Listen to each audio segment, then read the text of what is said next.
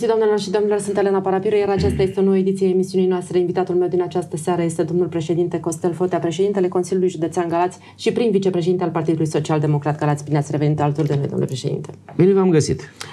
Avem uh, vești cât se poate de proaspete. Premierul Marcel Ciolacu și-a anunțat uh, intenția de a candida la alegerile prezidențiale din uh, luna decembrie și vom avea anunțul oficial și prezentarea platformei eh, planului pentru România în eh, ziua Congresului de sâmbătă de la București, ziua Congresului Partidului Social Democrat. Ce detalii ne puteți oferi? Este o veste bună.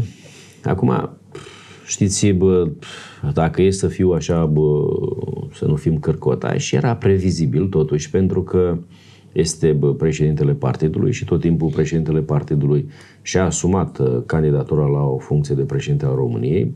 Este omul cu cea mai mare vizibilitate din Partidul Social Democrat, este omul cu cea mai mare experiență, este un om cu foarte multă experiență. Nu s-a grăbit deloc, și domnul, politică, domnul și politică și administrativă.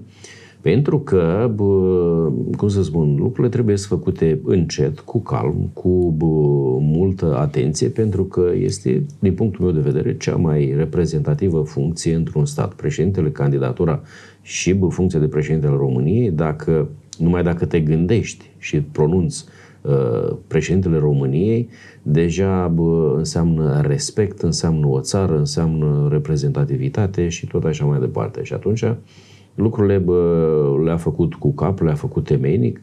Avem o echipă de bă, consultanți foarte bă, buni în jurul bă, dumnealui, o echipă de bă, oameni care au și experiență bă, politică, dar și consultanți în bă, probleme politice. Și uitați că uh, Uh, s-a concentrat până acum, până în momentul de față, s-a concentrat pe ceea ce înseamnă guvernare, o guvernare care a dus prosperitate, o guvernare care a fost făcută temeinic și cu simț de răspundere, o guvernare pentru toate categoriile sociale, începând de la profesori, doctori, pensionari. Uitați-vă că în Ceilalți parteneri de guvernare spuneau că nu se pot majora pensiile și că nu sunt bani în bugetul țării. S-au găsit și bani pentru majorarea pensiilor și pentru alte facilități când se spunea că nu sunt bani pentru a compensa prețurile la energie electrică sau la carburant sau la gaz. S-a găsit și aici, s-au găsit soluții, s-au găsit soluții și pentru agricultori, pentru uh, Uh, cele un milion de hectare calamitate, pentru că, din păcate, 2024 a fost un an foarte cu greu și cu probleme de secetă și s-a găsit uh, o soluție și o rezolvare și aici și uitați-vă că lucrurile, atunci când a fost o problemă, s-a găsit câte o rezolvare. Un om care are experiență administrativă, a fost viceprimar, a fost consilier local, a fost viceprimar, a fost deputat, a fost președintele Camerei Deputaților, a fost premierul României. Adică, din punct de vedere al CV-ului și al parcursului politic și administrativ, poți să spui că este un om cu foarte multă experiență. Și nu cumva îl trage cumva mai pe dreapta această funcție prezidențială, domnule președinte, pentru că până la urmă a fi președintele României, dacă ar fi să ne uităm pe lege, este ușor decorativ, nu neapărat ceea ce se întâmplă este, în momentul acesta. Este ceea de ușor decorativ, este ceea ce s-a întâmplat acum sau ceea ce s-a întâmplat până acum, dar bă, președintele României are un rol foarte important. În primul rând, vorbim de bă, relaționarea dintre bă, România și celelalte bă, state ale lumii, că vorbim de Uniunea Europeană, că vorbim de țările asiatice și eu știu, africane sau de Observa America. cineva zilele trecute că nu mai avem vizite de stat în România. Da, păi noi ne ducem doar, noi ne-am, cum să spun, ne-am obișnuit să fim musafiri, nu să fim gazde. Exact. Adică bă, noi ne-am obișnuit ca în ultima perioadă președintele României să fie doar musafir, nu să fie și gazda unor înalți oficiali care ar putea să vină să viziteze România, pentru că în momentul în care te duci într-o țară și bă, te duci cu o delegație, te duci cu ministrul economiei, te duci cu bă, bă, ministrul de finanțe, te duci cu ministrul dezvoltării, cu bă, ministrul apărării. Da, și pentru atunci, contracte economice, și pentru asta te duci. se pot bă, lega bă, relații de colaborare, de bă, eu știu, pentru relații economice între cele două state, între bă, mediul de afaceri, antreprenori, și bă, tot așa mai departe. Adică, din punctul ăsta de vedere, asta trebuie să facă bă, președintele României. Să ia bă, membrii ai guvernului din ministerele bă, cheie, că sunt energie, că sunt economie, că sunt dezvoltare. Și cum ne mai ducem la capul verde? Și bă, asta este. O să, o să evităm câțiva ani de zile bă, schiul și și atunci, și golful. Și golful. Și atunci, bă, și atunci asta este rolul bă, președintelui. Ba, mai mult de atât, așa cum arată și cum uh, au votat uh, românii în uh, iunie 2024, Partidul Social Democrat a scos un scor destul de bun sau chiar foarte bun.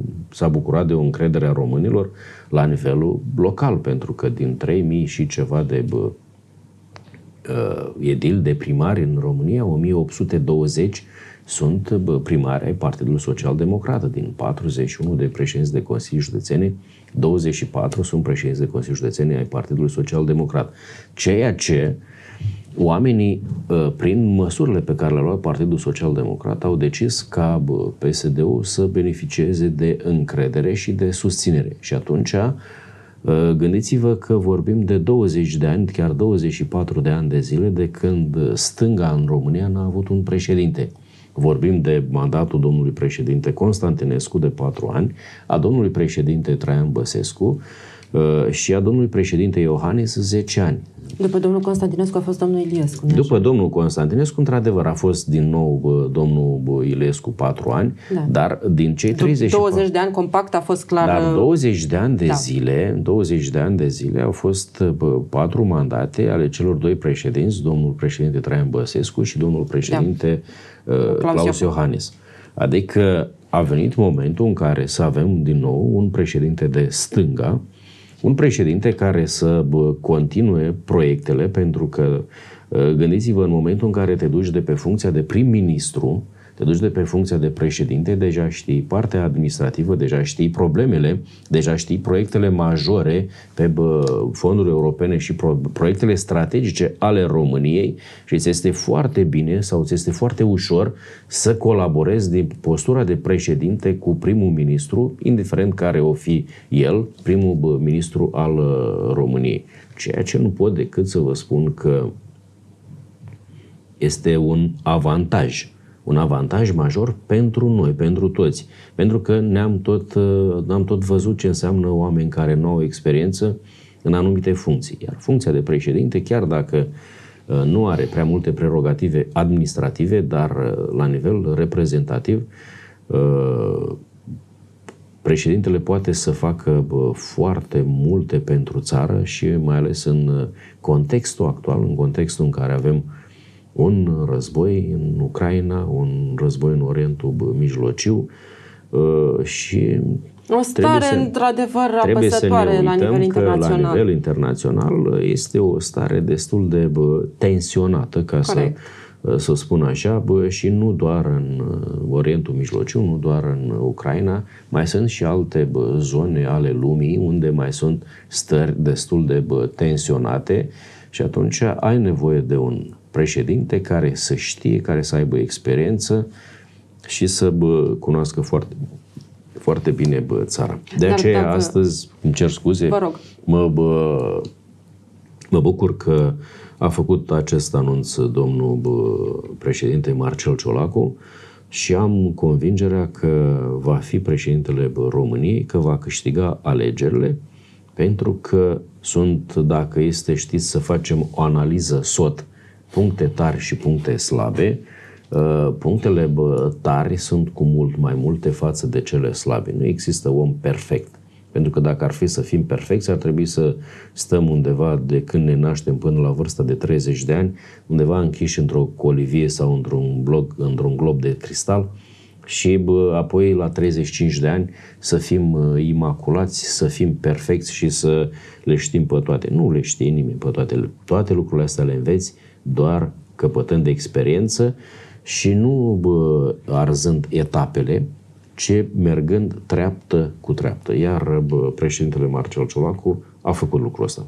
Extrem de convingător portretul pe care l-ați creat, domnului președinte Ciolacu. Nu, asta este adevăr, nu l-am, nu l-am creat eu, este, bă, este munca lui și atunci bă, ți este foarte ușor să vorbești despre un om care a muncit, care a făcut ceva, care bă, a făcut lucrurile bă, cu simț de răspundere, temeinic, pentru că, încă o dată repet, a fost consilier local, a fost viceprimar, da, a fost președintele a organizației într-un mod logic. A fost președintele organizației PSD de la Buzău și vreo, două, da. vreo câteva mandate a fost deputat.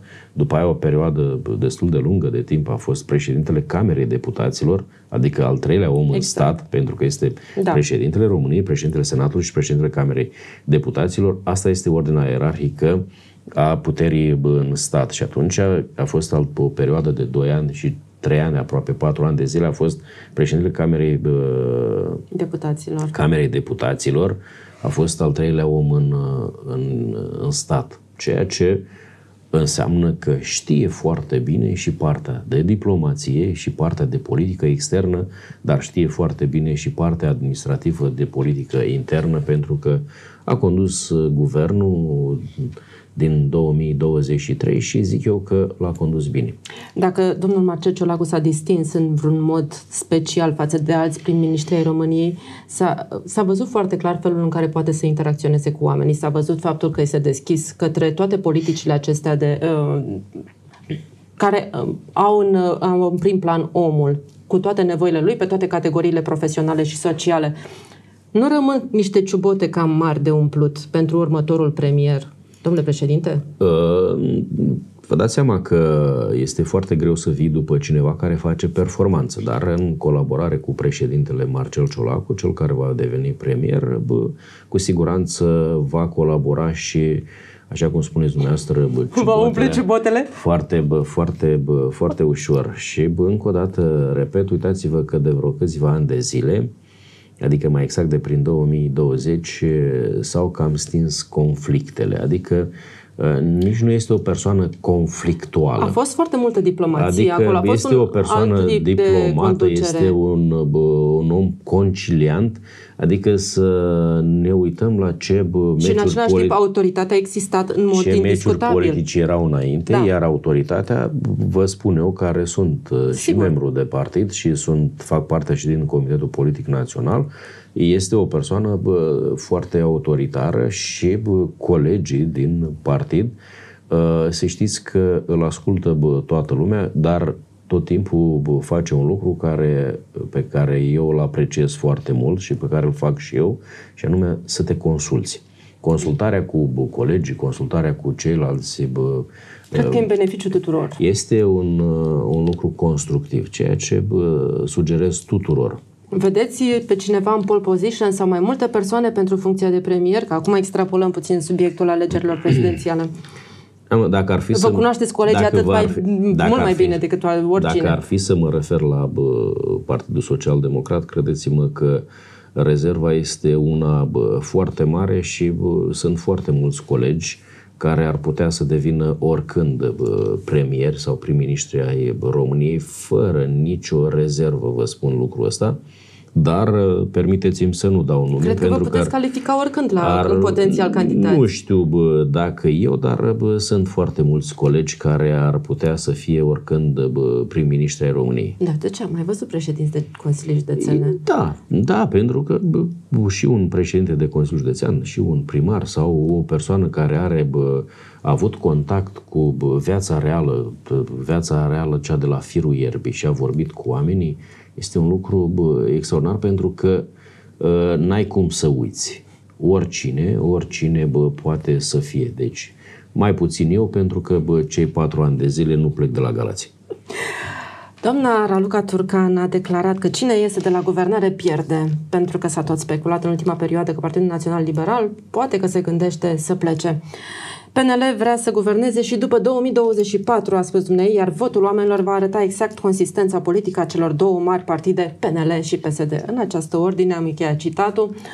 Cum putem să comentăm aceste declarații? Știți, bă, era un uh, domn uh, când povestea, avea un, un stereotip din ăsta și spunea, domnule, am fost și am băut 4, 3, 2 pahare de bere. El nu spunea, am băut 2, 3 pahare de bere.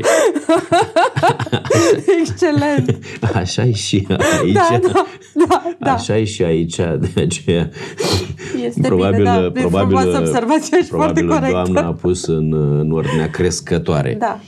Și asta, e, și asta e un adevăr. În, da, ce se întâmplă? Într-adevăr, fiecare partid sau toată lumea, că asta este miza politică. Miza politică a fiecărui partid politic, indiferent că e în România, că e în altă țară din lumea asta, toată lumea își dorește să ajungă la guvernare. Deci asta este obiectivul principal.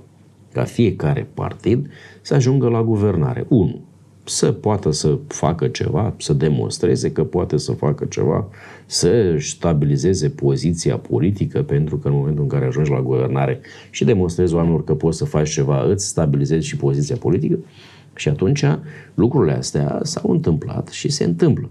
Înțelegeți? Deci nu este o chestie care bă, bă, vine acum. Da. Nu, se întâmplă, bă, bă, nu se întâmplă acum și n-a spus-o doamna bă, ministru pentru bă, prima dată. Dar, acum, ce se întâmplă? Noi, cei de la PSD, în pofida faptului că mulți ne-au criticat mulți ani de zile până ne-au cunoscut foarte bine, suntem niște oameni destul de pacifiști, așa, și dacă ne uităm în istorie, tot am ajutat partide din astea mici să crească. Dacă ne uităm uh, Nu știu la istorie, ce am folosit, dar da, ați ajutat, da. Deci noi am, uh, de tot timpul am, știți, am fost uh, precum asistenții maternale, am luat câte un copil pe care l-am crescut. Eu mă gândeam la nu-l las să moară și mai departe puteți să completați dumneavoastră. Adică de fiecare dată am luat câte un partener da. politic pe care l-am crescut. După ce l-am crescut, s-a dus într-o altă zonă politică sau da. într-o altă alianță, dar am făcut lucrul ăsta de fiecare dată și uitați-vă că la europarlamentare am făcut din nou același lucru. Și ați supraviețuit, slavă Domnului! Inclusiv au venit critici la adresa conducerii Partidului Național Liberal din partea fostului lor președinte, domnul Crin Antonescu, care spune că trăim la nivelul conducerii PNL într-o formă de mediocritate și chiar impostură, inclusiv a candidatului la prezidențiale. Dumnealui a criticat și pe domnul Rareș Bogdan și pe mai mulți alții membri din conducerea Partidului Național Liberal. Eu pot să spun doar un singur lucru, că am, uh, am un respect deosebit pentru bă, omul politic Crin Antonescu, chiar dacă nu facem parte din aceeași bă, barcă politică sau bă, partid politic. Am un respect deosebit pentru el, este un om cu foarte multă experiență, are, este un om care are bă, vorbele la el, este un om care a bă, în 2000, cu care în 2012 PSD-ul a făcut acea alianță USL-ul, că altfel nu mai scăpam de nebunia pe care o crease mm. atunci președintele din perioada respectivă. Și bă, este un om care știe foarte bine politica românească, știe foarte bine, cunoaște foarte bine Partidul Național Liberal pentru că uh, a crescut acolo pentru că a fost președintele partidului și pentru că vă dați seama că are conexiuni foarte multe în Partidul Național uh, Liberal. Și atunci, cu siguranță, nici nu am să afirm, nici nu am să infirm ceea ce spune dumnealui, dar pot să spun doar atât. Știe despre ce vorbește. În drumurile dumneavoastră spre București sau prin țară, cu câte panouri cu și v-ați întâlnit, domnule președinte? Păi știți, bă, acum era o vorbă și sper să nu devină unitate de măsură, pentru că din 3 în 3 km sau nu știu ce, bă, găsești câte un panou unde este bă, domnul președinte Nicolae Ciucă. Și atunci ăștia au spus, domnule, să folosim la uh, 3 km ca și unitate de Ciuca. măsură Ciuca. Și atunci, bă, sincer... Câte bă, ciuci erau?